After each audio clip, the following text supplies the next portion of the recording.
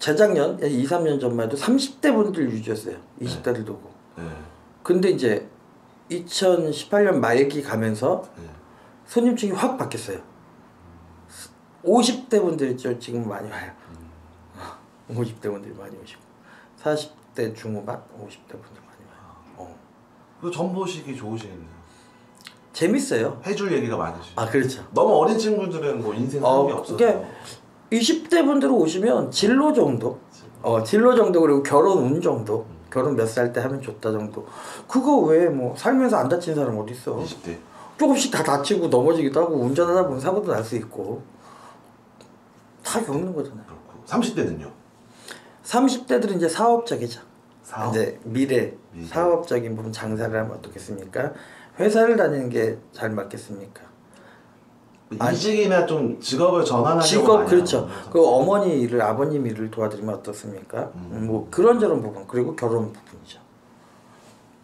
20, 30대는 공통된 게 결혼. 그렇죠. 결혼이죠. 이제 40대가 되면 이제 40대는 이제 또 많아요.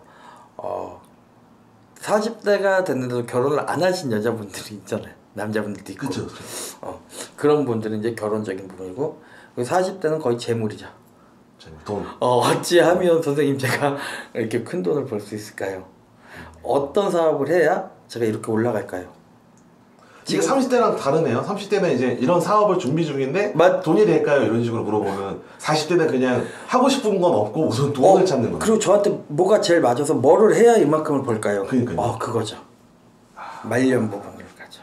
그러니까 30대 때 다 경험할 거 경험하고는 이제 40대 때는 맞죠. 뭘 해야지. 실패도 하고 넘어져 보기도 하고 돈도 벌어보기도 하고 그러다가 이제 40대가 돼서 근데 잘 나가다가 30대 직업 잘 갖고 가다가 40대 때 직업을 전환하는 사람도 있어요. 선생님 제가 10년 동안 이 일을 했었는데 좀 다른 걸 바꿔보려고 합니다. 어떤 게 맞겠습니까로? 어 왜 인간한테는 직업이 한 직업만 맞진 않으니까요. 두 가지, 세 가지, 네 가지까지도 있으니까 네, 그런 부분도 있고 50대는요? 50대 분들도 이제 50대, 그때는 50대. 부동산 쪽이에요. 부동산. 아, 부동산, 주식. 그리고 요즘에 오신 분 중에 비트코인. 예. 얼마 전에 이제 제가 누구는 말 못 하는데 비트코인 좀 했는데 2억 얼마를 투자했는데 5천만 나왔대요. 아, 왜냐면 제가 예전부터도 그랬어요. 비트코인 하지 마셔라. 이제 예전에 이제 많이 그거 쪽을 이쪽으로 사람들이 왔었어요. 근데 이제 말 안 들었다가 계속 이렇게 가신 분들 좀 있고. 그러니까 아쉬워서 못 찾아가지고는 그거 어떻게 그거 뺄 수도 반에 반토막이. 뺄 수도 없는 상황이잖아. 아 그래도 빼야죠 손을 봐도. 피디님이 2억을 2억 넘게 넣었는데 5천 남았어. 희망을 갖고 기다리겠어요? 빼겼어. 아 이미 아그 저는 5천까지 가기 전에 빼죠. 그러니까 그런 부분들. 아 이제 그거 빼 그냥 그 없어질지 없는 정도 냅두겠대. 저 같으면 저는 냅둘 것 같아요. 그 저 같으면 그거. 날라가도 그냥 냅둡니다. 그쵸. 어 맞죠. 뭐 어차피 반에 반나. 어차피 뭐 복불복 아니야. 아 사료가 다를 것 같아요. 아 맞지. 그거라도 건지려고- 그거라도 건지려는 네. 분들이 있고. 근데 저 같으면 이제 어차피 망한 몸, 베린 몸. 어차피 베린 몸. 어 그냥 갈 것이고. 어 그러니까 그런 분들은 이제 주식 투자, 음. 그 부동산 투자 그쪽으로 이제 많이 하신 분은 땅으로 해서 많이 버신 분들도 많이 와요.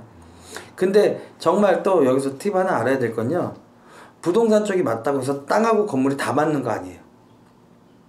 사람들이. 아 그 땅 땅을 사는 게 맞는 분이 있고 건물을 사는 게 맞는 분이 있고 다 달라요. 맞죠. 건물을 사갖고 안 좋게 되는 분 있잖아요. 땅 땅으로 돈 벌었는데 음. 건물은 그분한테 안 맞았는데 건물 해갖고 조금 마이너스를 보고 계신 분이 있어요. 음. 그리고 건물이 맞는 분들이 계시고 그 부동산이라고 해서 두 가지 다가 무조건 다 맞진 않아요. 그리고 이 법원 경매 쪽으로 또 맞는 분들 맞는 분들이 계시고 어. 분명히 대박 터질 사람들이 있어요. 오면 손님들 이렇게 저렇게 움직이면 이제 전 그 부분을 분명히 알려는 드립니다. 이제 하고 안 하고는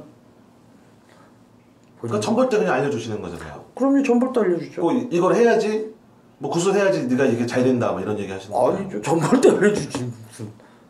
전볼 때 알려줘요. 정확하게 저는 집어서 얘기를 해줍니다. 이겁니다. 일로 가세요. 저겁니다. 이건 하면 망합니다. 하면 성합니다. 어, 전볼 때 계셔. 그러니까 말잘 들어요. 얘기하는 어, 제 말 듣고 가신 분들은 다 잘 돼서 지금도 찾아옵니다. 아? 엊그저께도 오셨다 가셨어요. 그분은 정말 제가 좋아하는 분이에요. 어, 맑아요. 맑으셔서 제가 부동산 그거 하다가 열심히 공부해서 자격증 딱 갖고 왔어요. 선생님 합격했어요. 그 부동산 좀 개업했어요. 어, 공인중개사 어 개업했다니까요. 그거 따기 힘든데. 개업해갖고 근데 신기한 게 아직 개업식도 안 했는데 네. 문의 전화가 계속 온대요. 아파트 팔아달라 뭐 팔아달라. 그 선생님 정말 신기하다. 응. 그분도 엊그저께 오셔서 어렸을 때 감사도 인사하고 가고. 그렇고 뭐 사갖고 오고 그런 거 아니에요. 어 그냥 오셔서 차 한잔 먹고 좋으니까 어, 그런 분들.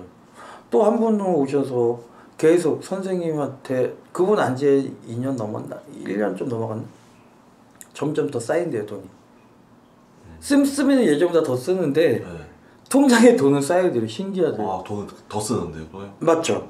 그만큼 그- 그 이상 들어오시나 보네요. 그분은 제가 나중에 피디님 한번 보여드릴게. 그분은 진짜로. 부럽네요. 그리고 이분은 또 전세도 또 이사도 가시고 제일 행복한 삶을 살고 계신 거네요. 진짜 돈 걱정 없이 사시는 거면. 누구요? 그분요? 네. 그쵸 열심히 대신 일은 하시잖아요. 또. 근데 어쨌든 그러니까 예전에는 열심히 일을 하고 쓰는 해도 이상 들어오시고. 마이너스 형태가 가는데 아, 지금은 안 그러니까 신기하대요. 뭘 했어요? 에? 뭘 하셨어요? 그분요? 네. 예, 할아버지한테 조상님 일했어요. 아, 예, 일하고 나서. 일하고- 조사님 일이라면 구슬 하신 거예요? 그렇죠. 그 이후부터 지금까지 계속 이거예요.